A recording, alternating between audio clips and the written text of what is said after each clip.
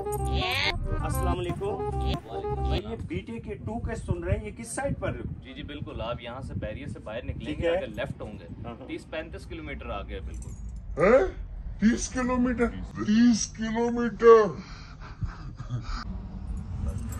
चाचा चाचा रुको तो सही। कहीं प्लॉट सारे बिक ना जाए मुझे पहुँचना है।